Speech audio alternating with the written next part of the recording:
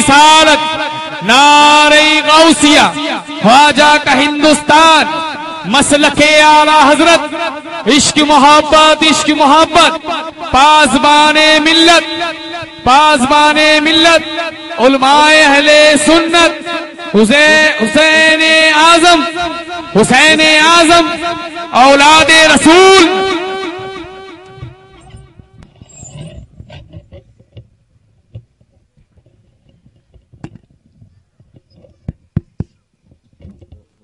वो बताइए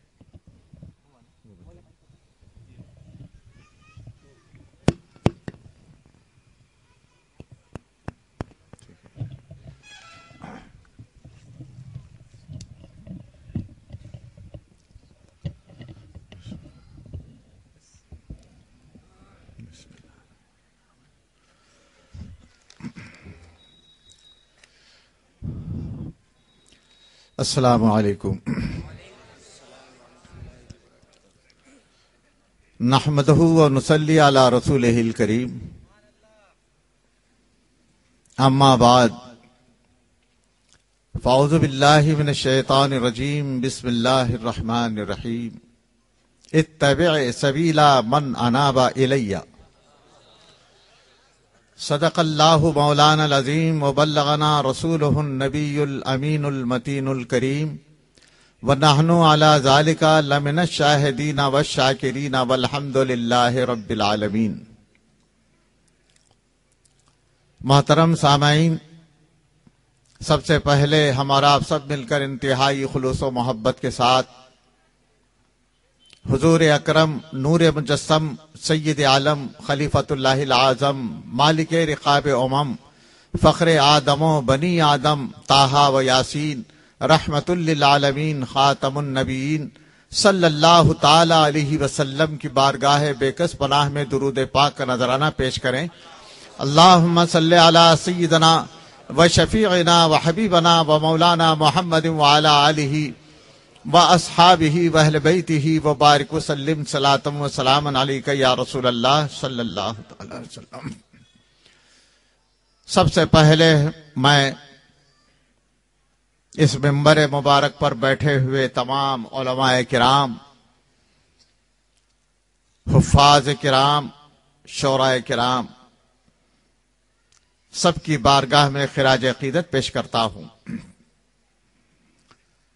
मोहतरम सामीन, यही वो उलमाए किराम हैं जो दीन मतीन सल्लल्लाहु ताला अलैहि वसल्लम को रोज़े अव्वल से आज तक उसी चमन, उसी बहार और उसी फैजान के साथ जारी रखे हुए हैं।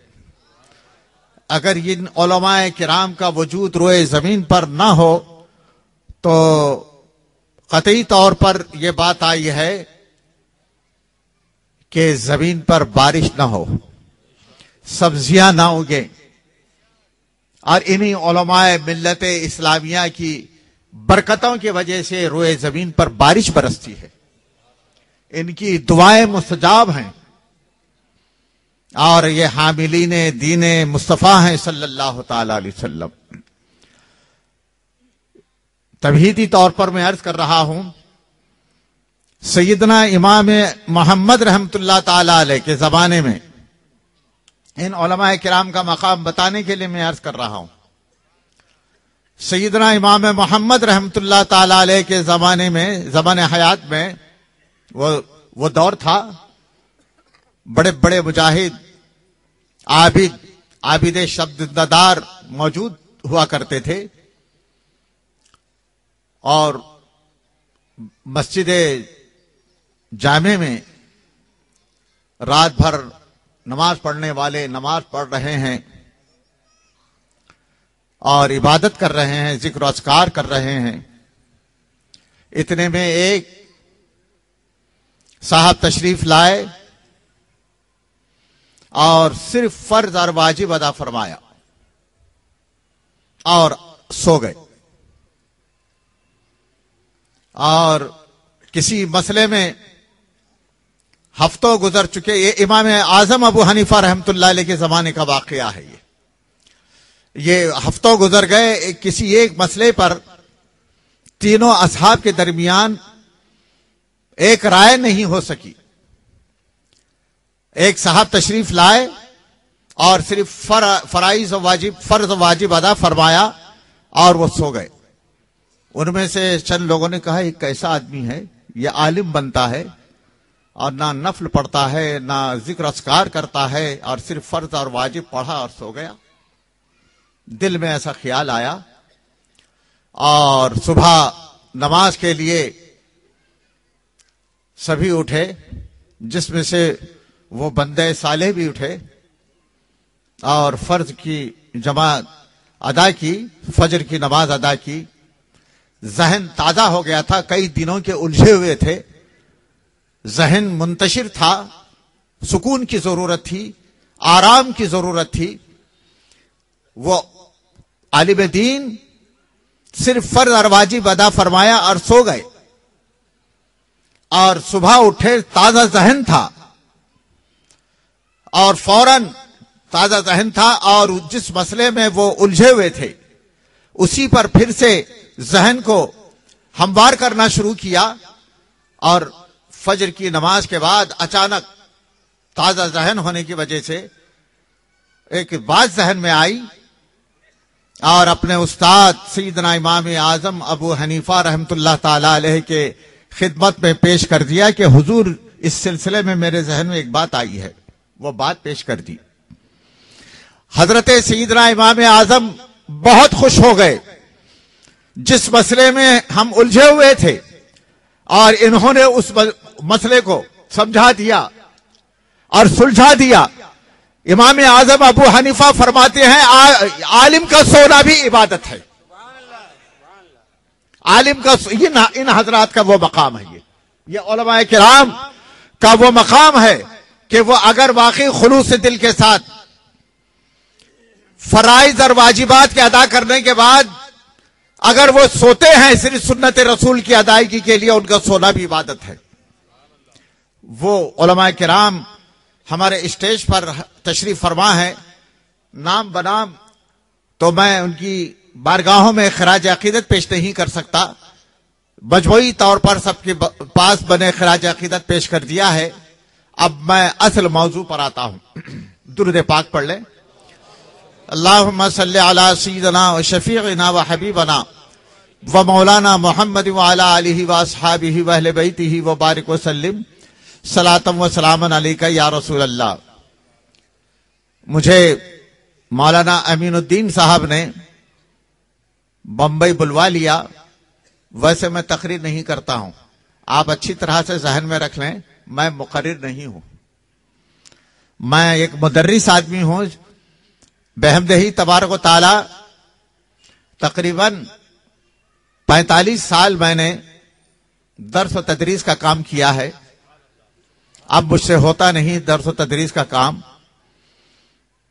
और सिर्फ़ मैं तहरीर का काम करता हूँ, तशरीफ़ व तालीफ की तरफ़ ज़्यादा तवज्जो देता हूँ। और तकरीर मैं इस पर ज़्यादा तवज्जो नहीं देता हूँ।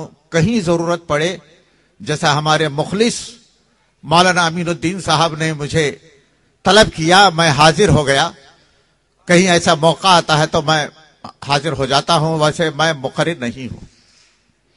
लेकिन चंद बातें हैं जो आपके सामने मैं पेश करना ज़रूरी समझता हूँ। मोहतरम सामाइन बहुत दिनों से दावत इस्लामी का मामला उलझा हुआ है, हम ओलमा के दरमियान। चार नवंबर, इसी गुजश्ता साल, चार नवंबर को नागपुर में बहुत अजीब शान कॉन्फ्रेंस मुनद हुई थी। तकरीबन डेढ़ से पौने दो लाख मुसलमानों का इज्तम था और जिसमें हुजूर ताज शरिया बदफ्स नफीस तशरीफ़ लाए थे। किराम की तकरीरें हुई। और सबसे आखिर में मेरी तकरीर रखी गई। मैंने इसी मौजू को उठाया कि दावत इस्लामी, मैं चाहता हूँ दावत इस्लामी का मामला सुलझ जाए। तो ओलमाए किराम के सामने, हुजूर ताजुश शरिया के सामने मैंने चंद बातें पेश की। सबसे पहले हम अवामी मसले से अलहदा होकर मैंने अवाम को ताकीद की कि आप लोग इस मसले में उलझे नहीं। यह खारिश ओलमा का मामला है। मैं ज़िम्मेदारी लेता हूँ कि ओलमाए किराम की बारगाह बारगाह में मैं दावत इस्लामी का मुकदमा पेश करूँगा।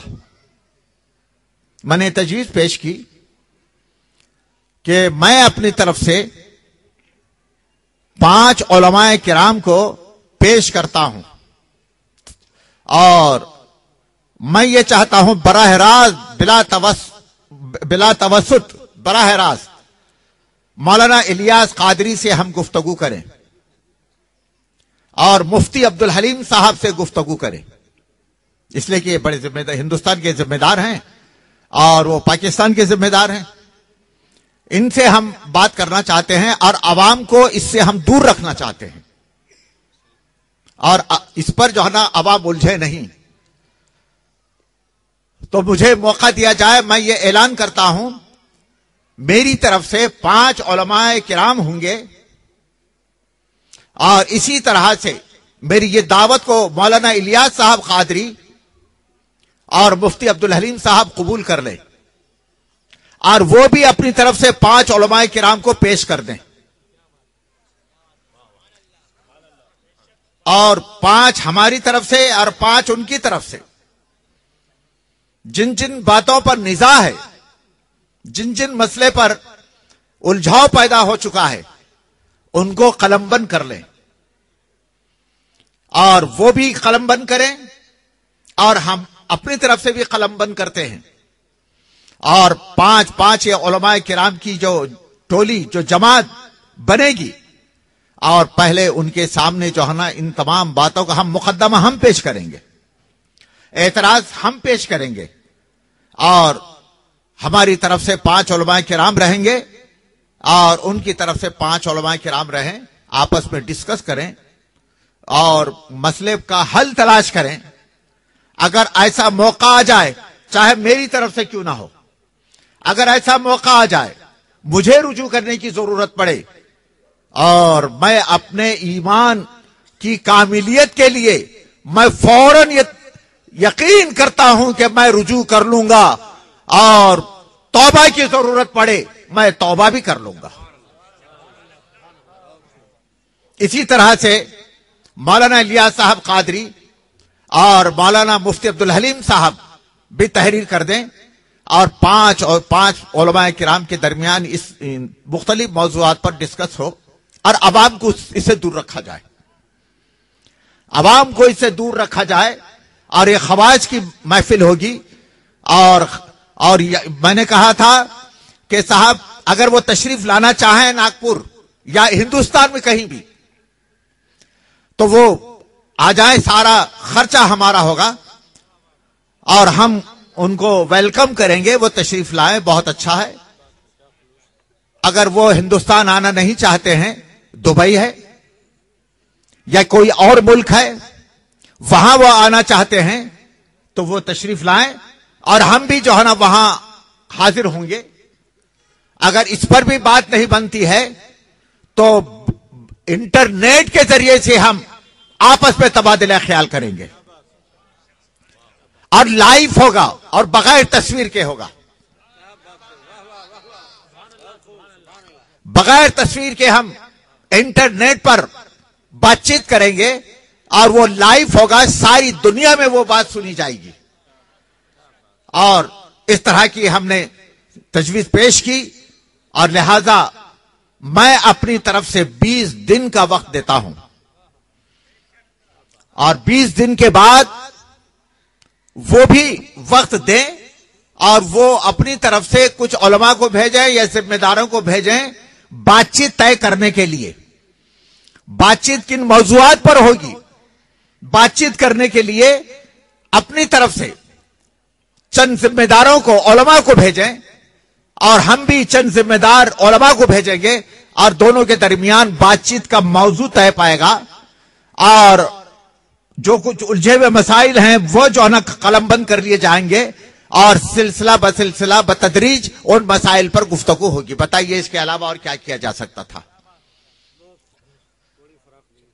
और हज़रत ताज शरिया रहमतुल्लाह मदजिल्लाली बन अफसनफी जलवागर थे और वो सुन रहे थे।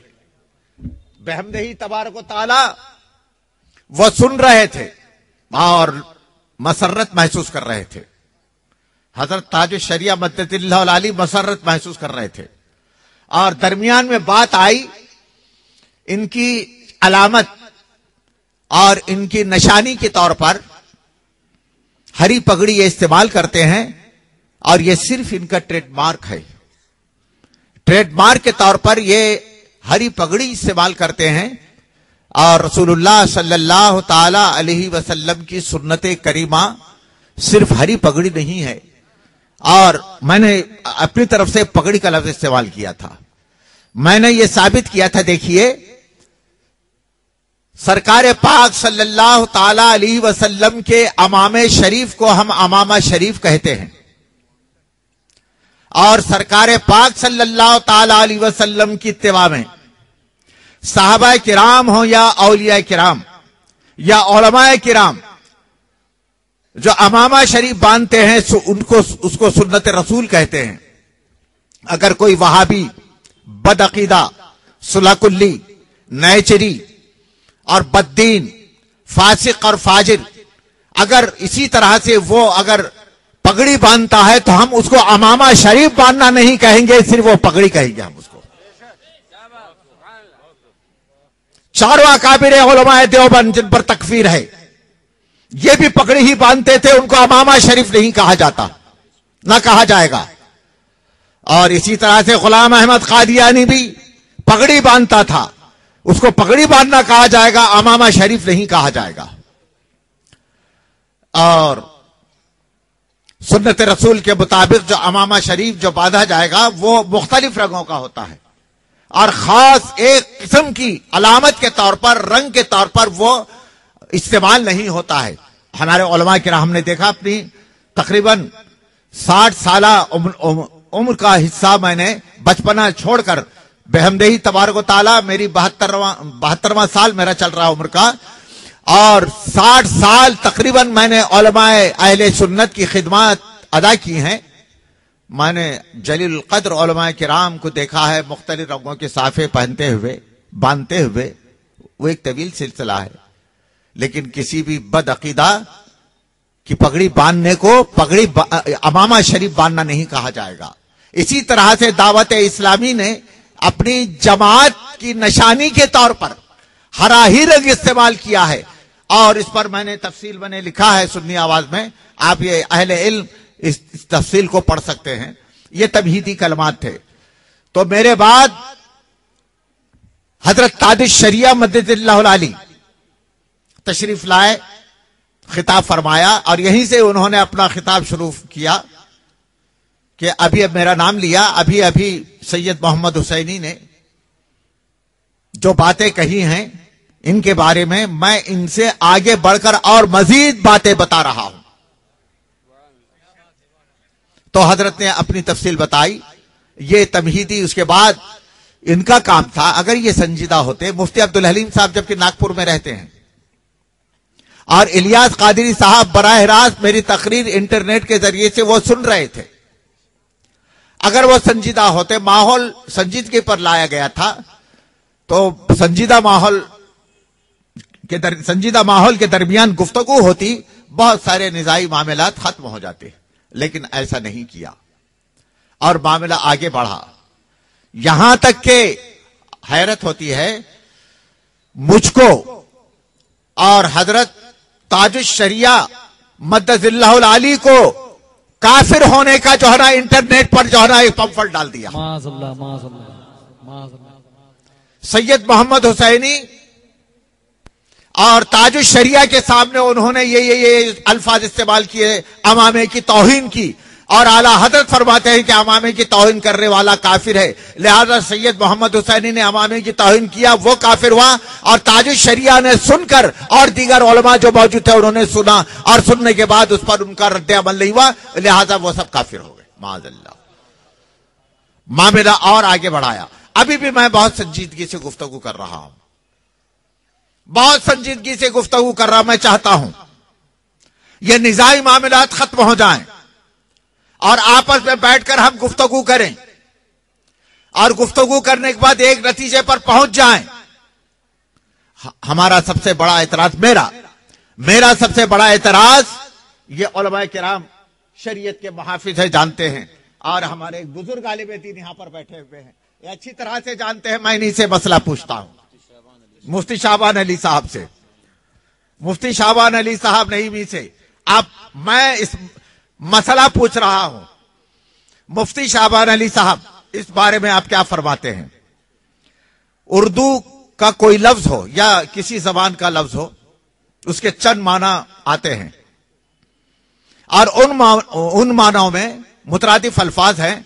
उन अल्फाज में एक लफ्ज या चंद अल्फाज तहकीर की तरफ़ दलालत करते हैं। उस लफ्ज को नबी पाक सल्लल्लाहु अलैहि वसल्लम की शान अकदस में इस्तेमाल करना कैसा है?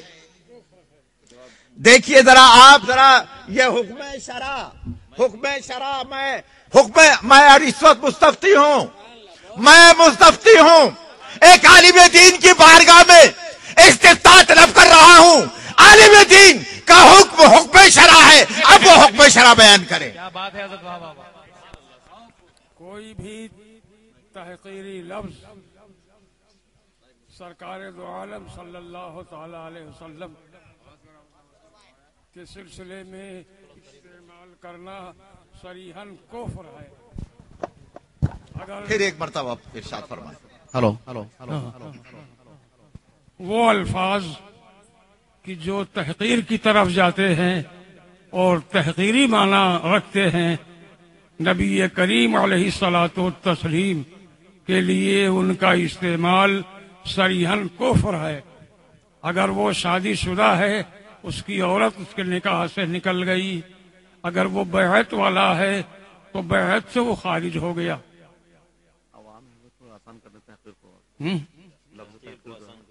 तहकीर का मतलब ये है, वो ऐसा लफ्ज कि जिसमें इज़्ज़त के माना ना हो बल्कि गैर इज़्ज़त के माना हो। तहकीर किसे कहते हैं? इज़्ज़त का लफ्ज उसमें ना हो ताजीम का लफ्ज उसमें ना हो बल्कि जिल्लत का लफ्ज हो। ऐसे लफ्ज सरकार की बारगाह में कतई कुफ्र है कुफ्र है कुफ्र है। माशा ये ले लीजिए। देखिए ये ये तो आपने मसला सुना बताइए। आलिम दीन का हुक्म शरा बयान करना, ये हुक्म शरा है। अब मैं इस पर बहस करना चाहता हूँ। मुफ्ती शाहबान साहब किबला। उर्दू का एक लफ्ज है मीठा। उर्दू का एक लफ्ज हज़रत मीठा। मीठा। अगर इंसान को फिरोज और लगात में लिखा हुआ है। चंद माने लिखे हैं और उसमें लिखा है मर्द के लिए मीठे का लफ्ज इस्तेमाल करना धोखे के माने में आता है।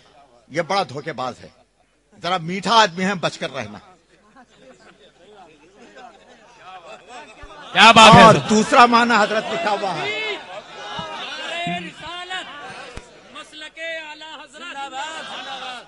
और दूसरा माना लिखा हुआ है में तो ये जारी और सारी है जी। बोल करके जी।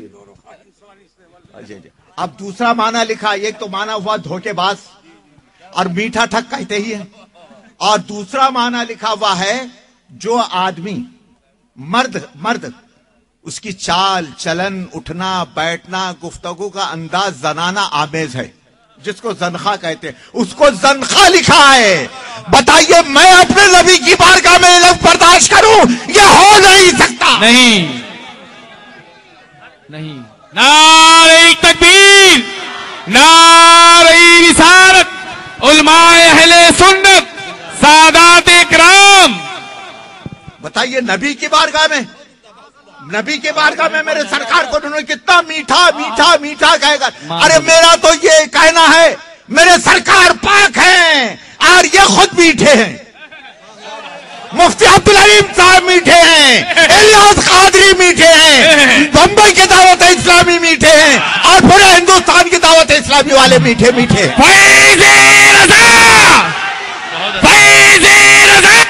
जिंदाबाद जिंदाबाद।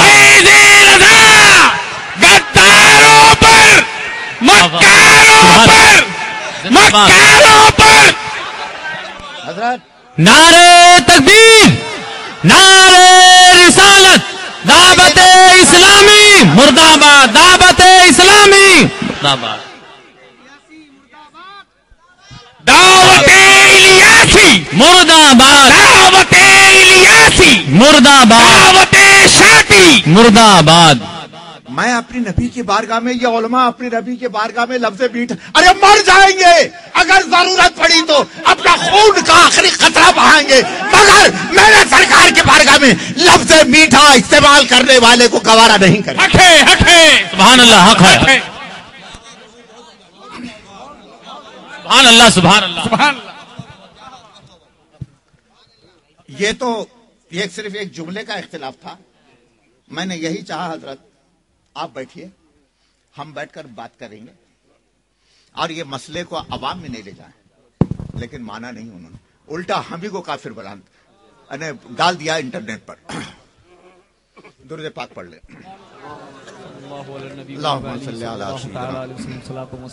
शफीना व हबीबना व मौलाना मोहम्मद व अला आलिहि व असहाबिहि व अहले बैतिहि व बारिक वसल्लम सलातु व सलामुन अलैका या रसूल मोहतरम सामाइन, दावत इस्लामी से बहुत सारे मसाइल, दावत इस्लामी के, दावत गैर, अब तो हम डंके के चोट पर कह सकते हैं दावत गैर इस्लामी। दावत इलियासी कहिए या दावत गैर इस्लामी? हम डंके की चोट पर कह सकते हैं। उनके बारे में ये हुजूर सरकार का पैगाम अत्तार के नाम। इसमें क्या क्या लिखा है? अल्लाह ताला सलाम भेजता है फरिश्तों के ज़रिए से। इनको सलाम भेजता है अल्लाह ताला फरिश्तों के ज़रिए से। और अल्लाह ताला पैगाम भेजता है। नबी पाक सल्लल्लाहु अलैहि वसल्लम सलाम भेजते हैं इन पर। और ख्वाबों की तो वो भरमार है, ख्वाबों की वो भरमार है, अलायाज बिल्लाह। अल्लाह बचाए अल्लाह बचाए। मेरे हाथ में प्रूफ के तौर पर मकतबतुल मदीना से छपी हुई किताब, शायद तुम्हारा ही जनाजा निकालने के लिए किताब मेरे हाथ में आई है। और मौलाना मुफ्ती अब्दुल अलीम साहब फरमाने लगे, वो तो ख्वाब ही तो हैं। और ख्वाब पर क्या हुक्म शरा है, बयान कर दें। तो मैंने उनसे कहा, झूठे ख्वाब गढ़ने वाले के बारे में क्या हुक्म है? झूठे ख्वाब गढ़ने वाले के बारे में क्या हुक्म है?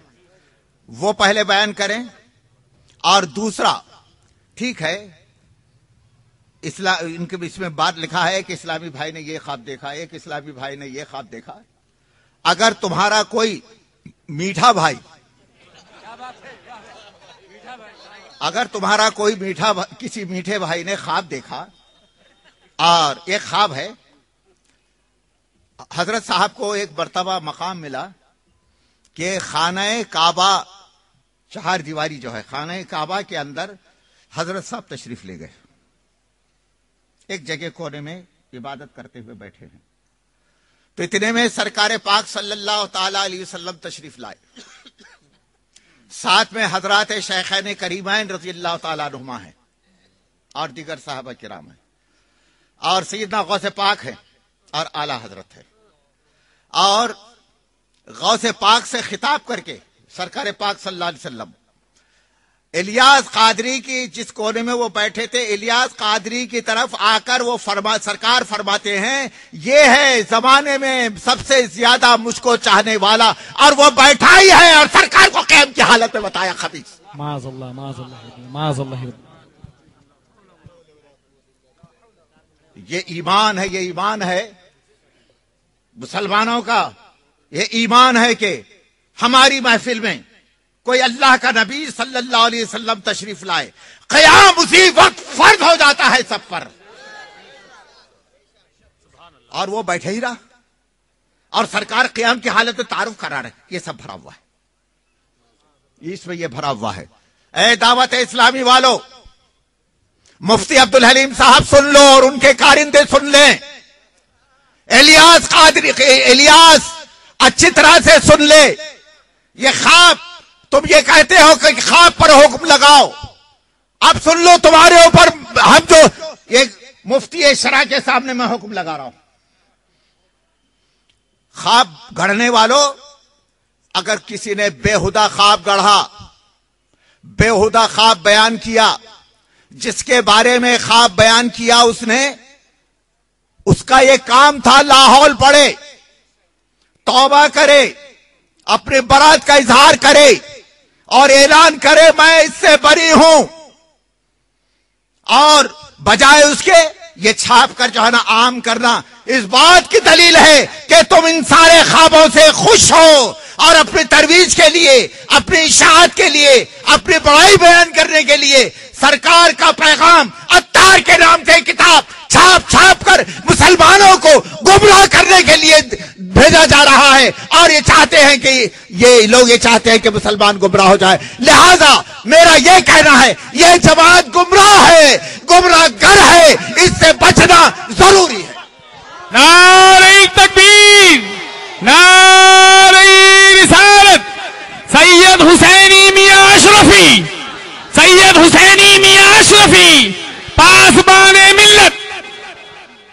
मोहतरम सामाइन अगर ख्वाब है हज़रत मुख्तलिफ़ ख्वाब देखा जाता है। खुदा ना खास्ता खिलाफ शरीयत कोई ख्वाब किसी ने देखा बयान कर दिया क्या वाजिब है इसके ऊपर? अपनी बरात का इजहार करेगा? और उसको डांटेगा? हेलो। आप बयान कर दे चलिए आप बयान कर दे। बयान कर दे। अगर कोई गलत ख्वाब देखता है और गलत ख्वाब बयान करता है डरता है। डरता है। तो इसका मतलब यह है कि उस ख्वाब से वो राज़ी है। तो जब उस ख्वाब से वो राज़ी है तो अपने गढ़े हुए गलत ख्वाब पर उसका ईमान व अकीदा है। ऐसा इंसान मुसलमानों के लायक नहीं है। न उसे मुसलमान कहा जा सकता है और न मुसलमानों में रहने के काबिल है। देखिए मैंने मुफ्ती शाबान अली साहब कबिला। सुभान अल्लाह सुभान अल्लाह मैंने एक अजीम मुफ्ती से जो हमारे दरमियान मेरा जहाँ तक ख्याल है सबसे मोहम्मद मुफ्ती हैं। उनसे हुक्म शरा हमने बयान किया। इन्होंने जो बयान किया वो हुक्म शरा है। उसका मानना सब पर वाजिब है। लिहाजा दावत इस्लामी का बैकाट वाजिब है। दावत गैर इस्लामी का बैकाट वाजिब है।